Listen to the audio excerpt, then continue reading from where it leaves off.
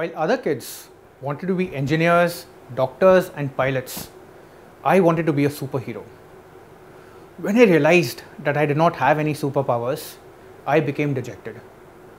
On learning the cause of my sorrow, uh, my dad told me a Sanskrit phrase, Vidya Param Balam, which means knowledge is the supreme power. Since then, I've been on this pursuit to attain the superpower called knowledge.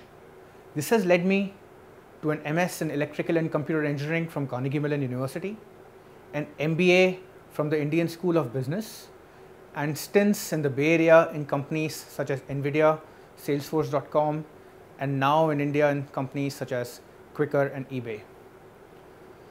Now, I want to help others attain the superpower for themselves, which is why I've decided to become an education counselor.